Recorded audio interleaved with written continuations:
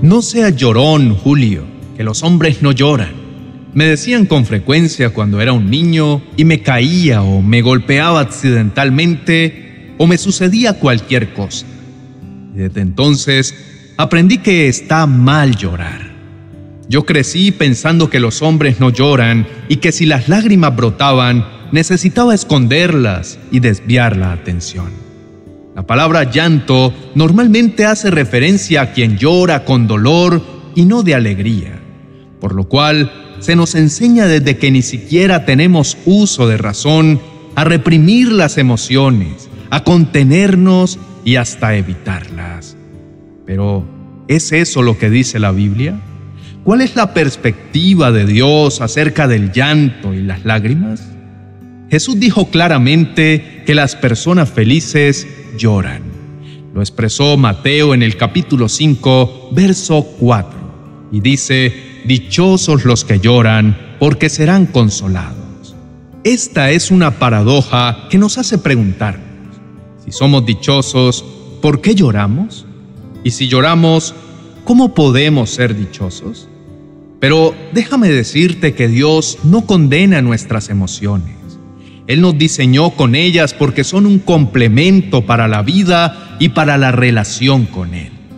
Los seguidores de Cristo, los que tienen salud mental, los líderes, los papás, los pastores, los ricos, los pobres, los necesitados, todos lloramos, porque todos somos humanos.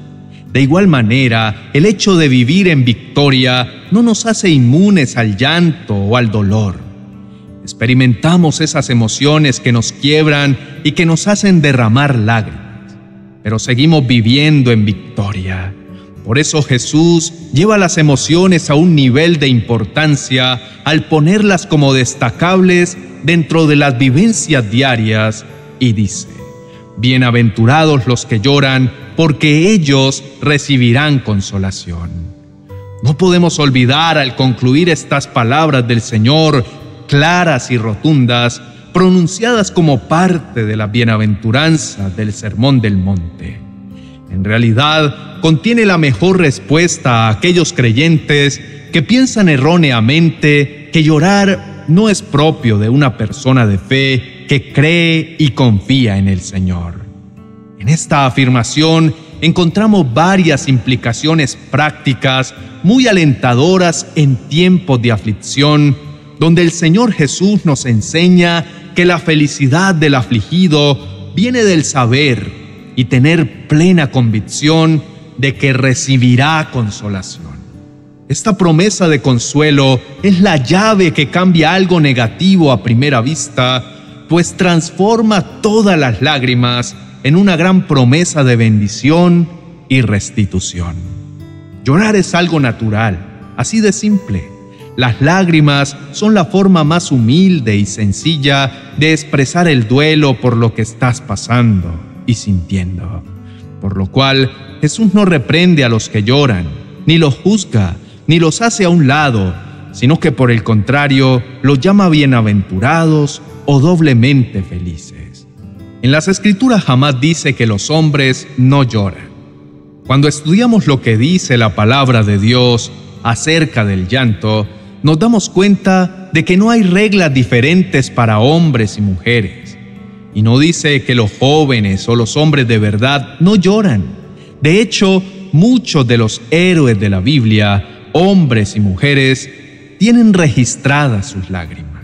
La Biblia dice que Ruth, Ana, Esther, María Magdalena y las viudas de Jope lloraron, entre otras mujeres fieles. Pero también hay una larga lista de hombres fieles que lloraron. Entre ellos están Job, José, David y Jonatán, Eliseo, Ezequías, Jeremías, Nehemías, Pablo, Timoteo, Juan y el mismo Jesucristo también mostró sus emociones por medio de su llanto. Esto nos deja ver que los verdaderos hombres de Dios no temían llorar y que puede ser bueno cuando dejas ver tu sensibilidad ante las situaciones. Y la Biblia muestra el llanto bajo una perspectiva positiva, como un resultado positivo. De hecho, Dios se agradó de las actitudes y emociones que había detrás de las lágrimas de la gente fiel, tanto de hombres como de mujeres, como por ejemplo la mujer pecadora que lavó los pies de Jesús con sus lágrimas. Ella demostró con su llanto que estaba verdaderamente arrepentida y recibió el perdón como nos cuenta Lucas capítulo 7 versos 37 y 38, que dice, Cuando cierta mujer de mala vida que vivía en la ciudad se enteró de que Jesús estaba comiendo allí, llevó un hermoso frasco de alabastro lleno de un costoso perfume. Llorando, se arrodilló detrás de él a sus pies. Sus lágrimas cayeron sobre los pies de Jesús y ella los secó con sus cabellos. No cesaba de besarle los pies y les ponía perfume. Otro ejemplo inolvidable es el de Pedro, quien lloró amargamente después de abandonar y negar a Jesús. Pero esto lo condujo a un cambio definitivo y extraordinario y a un verdadero arrepentimiento, como nos cuenta Mateo capítulo 26, verso 75, que dice, entonces Pedro recordó que Jesús le había dicho, antes de que cante el gallo, me negarás tres veces. Entonces Pedro salió de allí y lloró amargamente. Incluso el mismo Hijo de Dios, Jesucristo, oró ofreciendo ruegos y súplicas con gran clamor y lágrimas, y fue escuchado por Dios, y por todo aquello que padeció, aprendió a ser obediente hasta la muerte, como dice Hebreos capítulo 5, versos 7 y 8. Cuando Cristo vivió en la tierra, oró a Dios y le pidió ayuda porque era el único que lo podía salvar de la muerte. Jesús oró llorando y suplicando a gritos, y Dios respondiendo a sus oraciones, porque Jesús era humilde y hacía todo lo que agradaba a Dios. A pesar de ser su hijo, aprendió a obedecer por medio de todo lo que sufrió. La maravillosa noticia es que hay bendiciones para los que lloran. Algún día el llanto va a terminar. Afortunadamente las lágrimas son solo temporales y serán un recuerdo lejano porque Jesús hizo grandiosas promesas que, aunque lloremos y nos lamentemos en este momento, toda esa tristeza se convertirá en gozo, como lo asegura Juan en el capítulo 16, verso 20. Y dice, les aseguro que ustedes llorarán y estarán tristes, mientras que la gente del mundo se alegrará. Sin embargo, aunque ustedes estén tristes, su tristeza se convertirá en alegría. Querido hermano que me escuchas, en esta noche quiero elevar una oración al Padre por consuelo para tu alma, recordando las promesas de Dios para que todas tus lágrimas sean devueltas en profundas bendiciones y alegrías.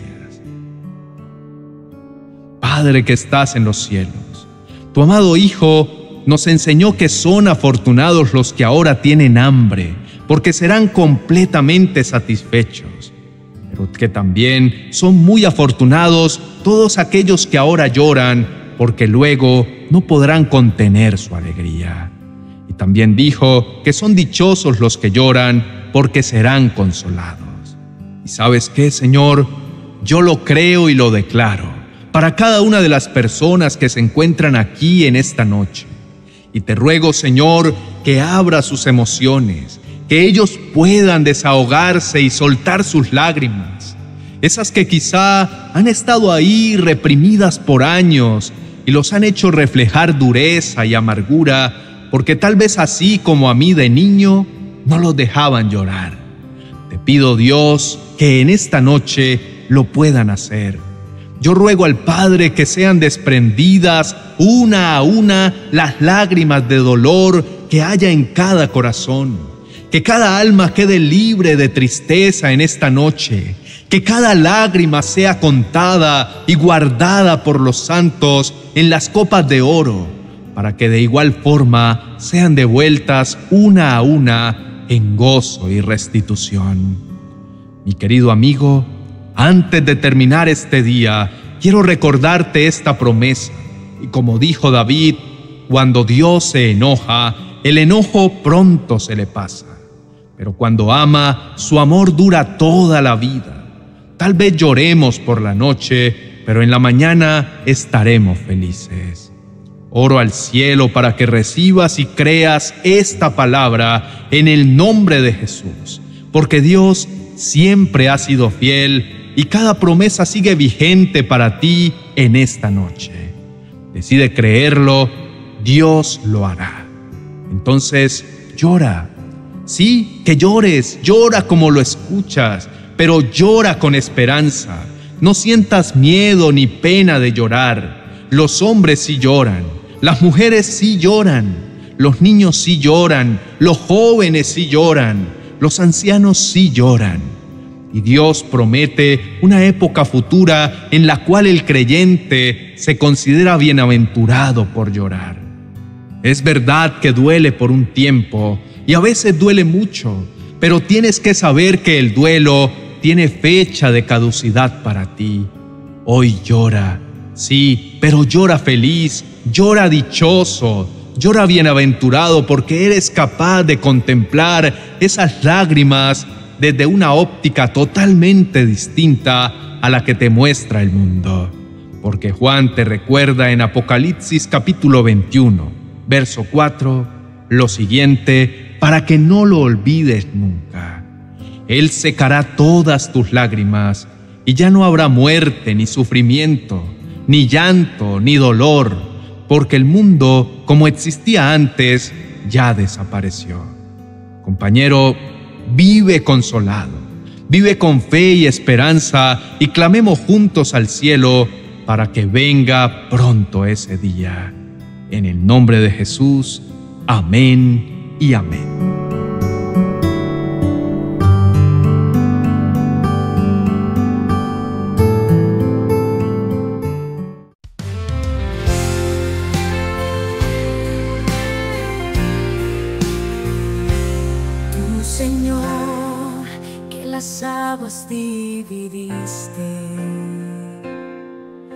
Poder tus maravillas mostraste.